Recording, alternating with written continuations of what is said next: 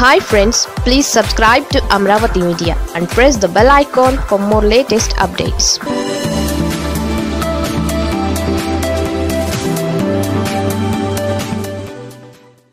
వారు వీరు లేదు. అందరూ ఇంటికే. సో క్లారిటీ వచ్చింది. మంత్రివర్గ విస్తరణ గ్యారంటీ అందులో కీలక నేతలను కూడా జగన్ తప్పించేందుకు సిద్ధమయ్యారు. సీనియర్లు జూనియర్లు అనేది లేదు. అందరినీ ఒకేసారి తప్పించి ఫ్రెష్గా కొత్త మంత్రివర్గాన్ని జగన్ ఏర్పాటు చేయబోతున్నారు.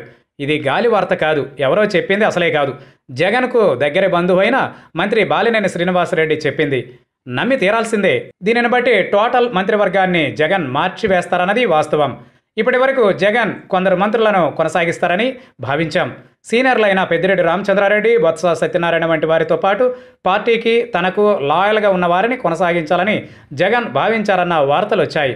ఇలా లాయల్గా ఉన్న వారిలో మేకపాటి గౌతమరెడ్డి వంటి మంత్రులు ఉన్నారు. ఇక సామాజిక పరంగా కూడా కొందరిని తప్పించారన్న ప్రచారం జరిగింది. కానీ ఇవేమీ నిజం కాదని బాలినేని బాంబు పేల్చారు. త్వరలో జగన్ వంద శాతం కేబినెట్ను మారుస్తారని చెప్పారు. అదే నిజమైతే ఇప్పుడున్న ఏ ఒక్క మంత్రి కేబినెట్లో కొనసాగే వీలుండదు.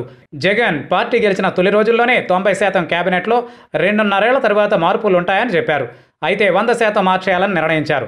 నిజానికి మంత్రుల వల్ల పార్టీకి పెద్దగా ప్రయోజనం చేకూరింది లేదు. మొత్తం సంక్షేమ కార్యక్రమాలతోనే ప్రజల్లోకి వెళ్ళాలని జగన్ నిర్ణయించుకున్నారు.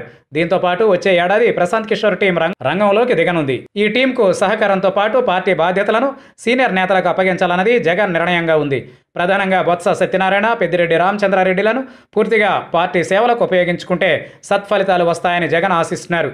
అందుకే జగన్ వారు వీరు అని లేకుండా మొత్తం మంత్రివర్గాన్నే మార్చేయాలని జగన్ నిర్ణయించుకుని ఉండొచ్చు.